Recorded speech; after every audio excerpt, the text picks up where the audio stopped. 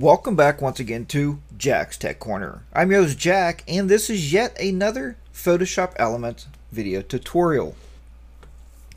First, if you get a moment, please stop by my website, jackstechcorner.com. This is where you can find some great, very low cost DVD video tutorials. Now, these DVDs are, contain tons and tons. If you buy the three volume set, you have 112 Photoshop Elements videos that you can use. Um, if not, there's also I want to introduce you to Justin TV. Now, a lot of you haven't been showing up. I know I have over 5,000 subscribers on YouTube. So you think by now we'd be able to get some people to show up and visit us Sunday mornings at 10 a.m. Eastern Standard Time. I do a live show with Photoshop Elements. We also have a call in so you can actually call the show and be able to talk live with me on the air and watch the demonstrations as they're being done. So if you have any questions, you want to see it fixed, you know, uh, right at that time, then that's what you want to do is check out justin.tv slash Jack's Tech Corner, or you can come here, jackstechcorner.com, and there's a player right there. I would suggest you full screen it. It looks a lot better uh, when you're seeing the, uh, the tutorials. Also, if not that, uh, if nothing else, if you want to help out there getting these live shows up and running and producing these videos, do, you know, uh, with the website and everything, it does cost a little bit of money. So we always uh, ask for a donation. If you can uh, be so kind, you can also just donate to the show and definitely help us out. So that is enough of that. We will move on. Today, what I wanted to teach you was how to take a silhouette picture such as this and you can see the sky is kind of boring at this point. It's a sunset, right? But it's kind of boring. What I want to attempt to do here is we are going to create some some rays of sun reflecting off of the ocean here going back up into the sky. So you can do this with any basic silhouette picture you have as long as there's a sunset and it's far enough away that you can make this effect look realistic. Now, the first thing we have to do here, as always, is we're going to duplicate that background image. So we can do it with the Control J, or on the Mac, it's Command J, and now we have a layer 1. Next, what you want to do, it's very simple to do this, is go down here onto your um, create a new fill or adjustment layer. Click on that, and we're going to choose gradient. And here's our gradient. Now, I would suggest, first of all, just to pick a black and white gradient. The style mode, we're going to change this to angle. Is how we're going to do this. We have to angle it out. Make this, just put a negative in front of this, 90. We're going to make it negative 90. That's going to give us the effect that we want. Now that you have all that set up, let's go ahead and edit the gradient because we have to have the proper colors. Let's click on this. This is our gradient editor. Now what we're going to do first of all is change the gradient type here to noise. You can see the effect already coming out, how it's already spanning out. So it's really interesting. Uh, you should play with gradients. You know, you sit here and play around with them long enough, you're going to find these uh, different ideas you have here and how to come up with this. Now I did find using the color mode with RGB, I had a little trouble trying to adjust my colors properly to get it to the proper color yellows that I wanted for the sun. So I changed it to hue, saturation, and brightness. That's HSB, hue, saturation, and brightness. We'll take the hue and we'll actually bring this back and you want to try to pull out as much as you can just into the yellow. Just like so. Try to get some of that green out of there.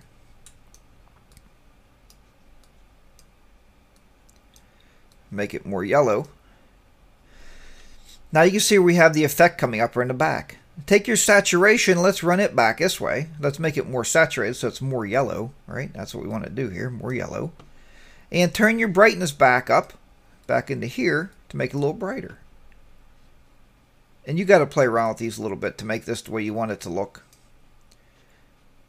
The next thing I found, if I click this randomize button, sometimes it gives you the effect you want, sometimes it does not.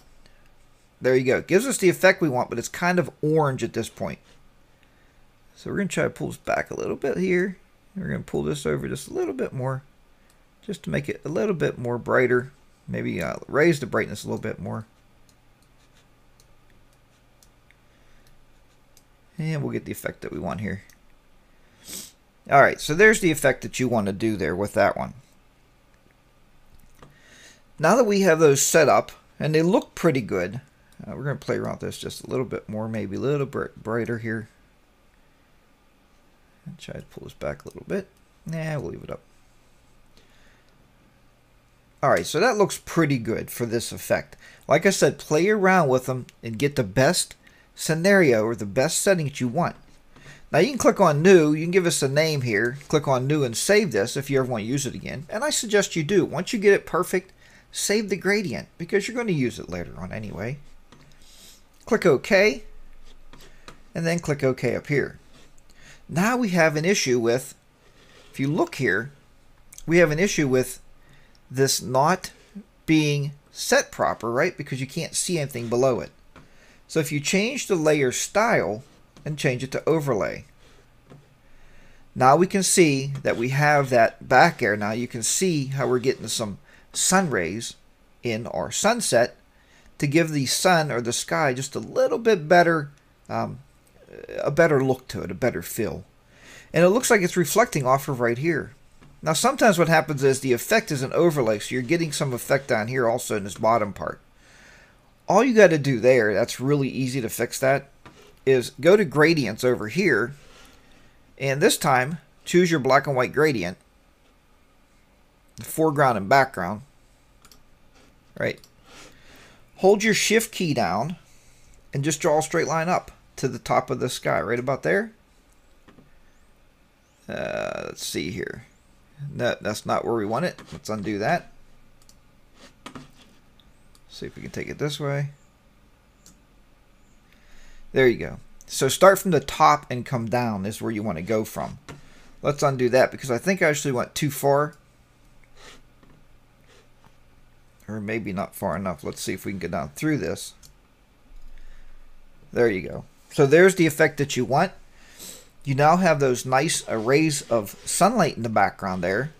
And you have the sun coming this way. It looks like now it's reflecting off of here and you're getting sun rays up. And you have a beautiful silhouette picture. So it's really, really nice. And this is very, very suitable for framing.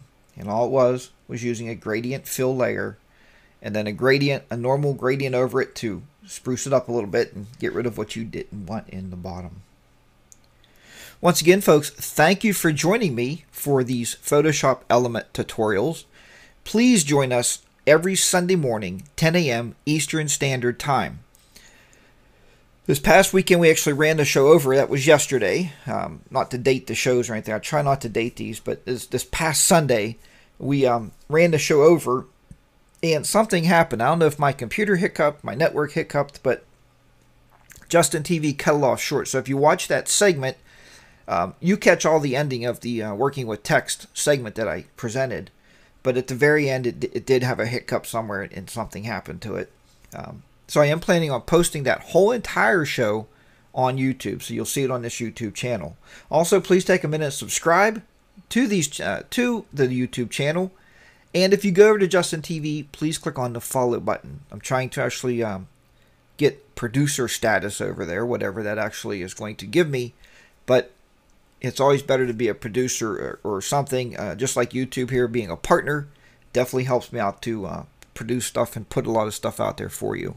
Once again, stop by the website. Uh, if you like this tutorial, stop by and pick up those DVDs, folks. You're going to be learning so much uh, in such a short period of time.